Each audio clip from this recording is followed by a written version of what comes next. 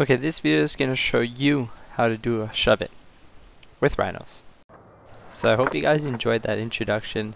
Sorry my editing is not very great, but here are some examples of me doing an actual shove it.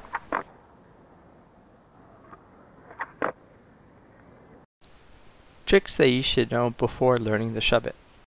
There's no real trick you should know before learning the shove it, but being comfortable riding on your skateboard and also being able to kick turn will be helpful. Proper foot positioning is key to a good shove it. Here's a POV of where I put my feet for shove-its. Where my front foot is doesn't really matter, but I like to have it just under the bolts as it keeps me most balanced. The most important foot position is the back foot. Here's a side view of where my back foot is. I hang my toes slightly over the edge of the tail so that I'm able to really scoop the back tail. The scoop is the most important part of the trick. The first part of the scoop is lifting the front wheels off the ground a few inches. This is where kick turns and manuals are helpful. Okay, charge your inner rhino. Just like a rhino charging at someone, really push that leg back. So here's how to scoop the board to make it rotate really quickly. When your front wheels are off the ground, wrap your toes around the side of the board so that you can push the board straight back. This may seem really odd at first, but keep practicing with it with one foot on the board and one foot on the ground. Try your best to rotate the board as fast as you can. This will make landing easier. What's important here is after you press the tail down a bit to lift the wheels, scoop the straight back. You don't need to push down anymore. So once you get the scoop, Catching or landing is the next step. So because the back foot does all the scooping, the front foot is the main foot for catching. So when you're scooping the board, lift the front foot up into the air, watch the board rotate, and when the 180 is complete, just put your front foot down. Once you place your front foot down, put the other foot on to complete the landing. At first, catching the board will be difficult and sometimes hard to commit with both feet. When you get more comfortable, you're able to catch or shove it with your front foot a little higher and make it look steezy.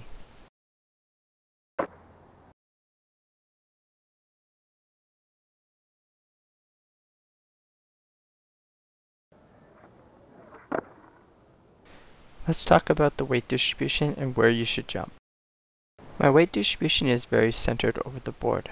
When I finish scooping the tail, I jump straight up. If you're doing rolling shove-its, if you jump straight up, you'll naturally land a little in front of you due to the board's momentum. So what are the three most common mistakes with shove-its? The first is what I call the friction Hot Wheels. So this is what happens when you don't lift your front wheels up. Instead, you rotate the board and the front and back wheels both make contact with the ground when trying to rotate. Due to the friction, it causes your board to rotate even slower and it oftentimes it makes it really difficult to land because of the unpredictability of the rotation. So in order to fix this mistake, lift up the front wheels a few inches before scooping. So the second mistake is that you can't land with your back foot. This is probably the most common mistake. So this could stem from the fact that you're not committing or because you're not rotating your board fast enough. Other times, I see people not actually jumping high enough to land on the board. You have to at least jump higher than the board's height. If commitment is your issue, then start off with doing shove-its in the grass where it's soft. Next, maybe you'll want to hold on to something like a railing and practice shove-its that way. The third mistake is that the board lands too much in front of you. So this mistake is most prominent in stationary shove-its, where there's actually no forward momentum pushing the board forward. So the first solution is to actually jump forward and in front of you a bit. That way you can land on the board where the board lands.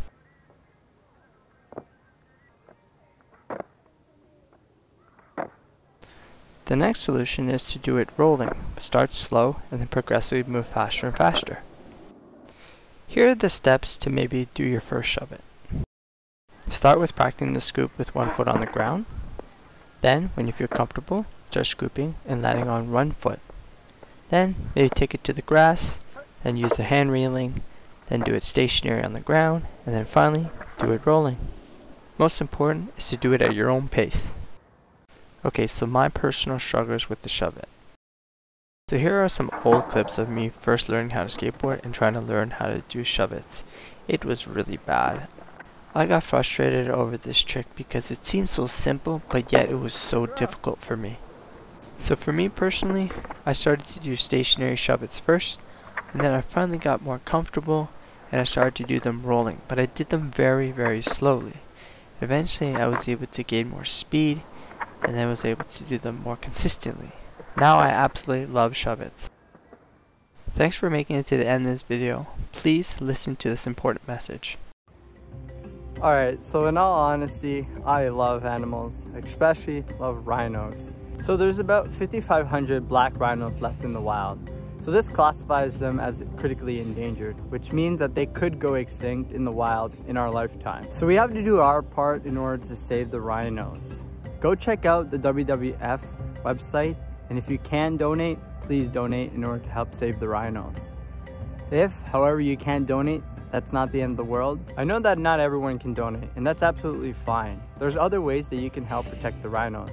Talk about the issue, just bring awareness to the issue is helping a lot already. I hope you enjoyed this video, and I'll catch you guys next time. Soup. Or don't.